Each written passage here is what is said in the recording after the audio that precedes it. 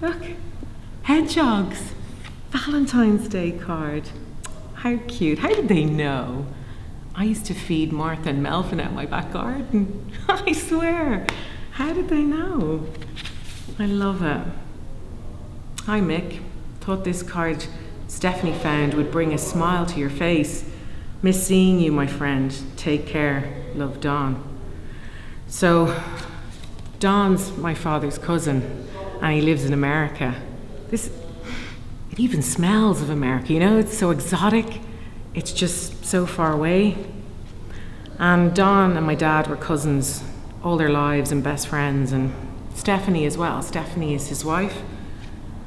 She says, We've so many special memories of our visits with you. What fun times, so much laughter. You're in our thoughts daily, sending hugs and all our love. Stephanie. You see, Doctor, it's been eight months since my dad had his catastrophic life changing stroke. I don't know how to process the news that you've given me. You see, my dad, it was an ordinary day back in February 26, 2020. I was going about my daily business, so was he. He was driving, he was as fit and healthy as you are, six foot tall, gorgeous. Had lunch with friends, waved to my friends who were having yoga on the Malahide Coast Road, and then all of a sudden, bang. Our whole lives changed. I was in work, I had deadlines, I didn't know what was happening, and I got that phone call, you know? Dad pops up on your mobile, and you're like, oh, it's dad. And he's as chatty as I am. And I was about to say, hey, listen, I'm busy, don't, you know, don't speak to me. And it wasn't him on the phone, it was his colleague. And he said, I'm here with your dad. He's breathing, but he's not speaking. You gotta come quick. So I dropped everything and I drove 100 miles an hour. And I got there, and the first responders were there, but the, the ambulance weren't there. They were an hour and a fucking half late. I wrote letters, I tried, I didn't know what to do. He was in full stroke arrest, doctor. I mean, I, I did everything I could. I kept saying, What have you done to yourself? It's like we're lost forever. He's there on the floor and he's, he's trying to breathe. And it has been eight months. And I know you've done everything you can. But the news I can't process. So, what you're telling me is that he, my dad, who's that perfect orator, who knows everything about the 60s counterculture, who have I've held his hand for the last eight months and I have sang Bob Dylan songs to him, Tom Petty songs, the Beatles, the Stones, you fucking name it, he's never gonna talk again? How is that possible? It just can't be.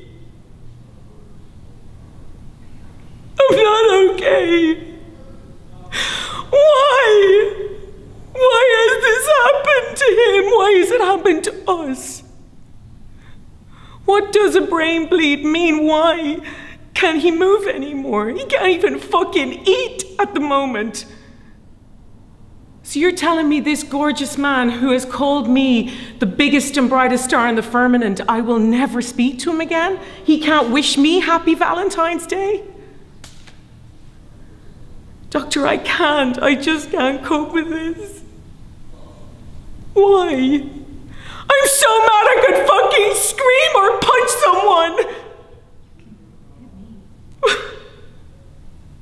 I just. I don't understand. Life is so cruel. Please help me understand.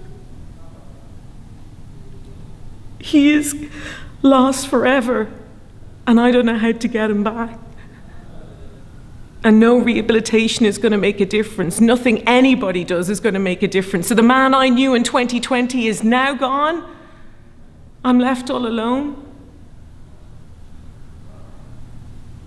He used to say to me that time is the master thief. And now I know that's true. I know you've tried everything, Doctor. I just can't believe it. I won't believe it. There's no humanity left. He's a shell of a man. I don't know what's right anymore, you know?